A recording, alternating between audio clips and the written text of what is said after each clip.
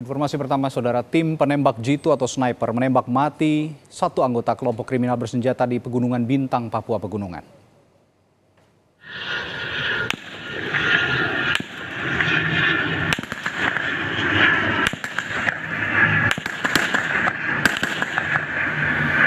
Peristiwa bermula saat sejumlah anggota kelompok kriminal bersenjata pimpinan Ananias Ati menembaki pesawat logistik yang sedang terbang di distrik Serabakon, Pegunungan Bintang, Kamis kemarin. Setelah menyerang pesawat pembawa logistik, anggota KKB itu terlibat baku tembak dengan Satgas Damai Kartens.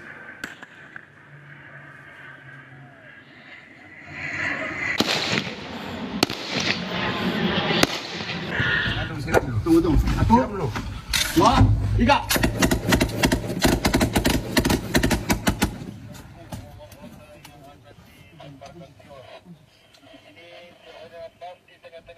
Tim Satgas Kartens yang sedang melakukan patroli langsung menembak anggota KKB itu.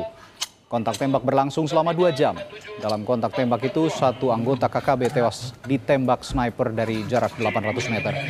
Anggota KKB yang tewas itu sebelumnya juga terlibat dalam penembakan terhadap anggota BRIMOB dan tiga warga sipil selasa kemarin.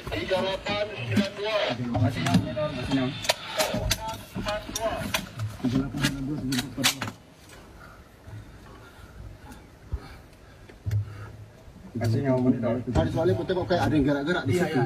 Mat perkara orang atau enggak enggak tahu. Kan? Melalui keterangan tertulis Kasatgas Humas Operasi Damai Kartens, AKBP Bayu Suseno menyatakan, tim sniper kami berhasil menembak mati salah satu KKB yang kami tembak dari jarak 800 meter saat mereka melakukan penembakan terhadap pesawat yang melintas di ketinggian oksibil. Terlihat dari teropong kami, beberapa KKB terluka akibat tembakan tim sniper kami.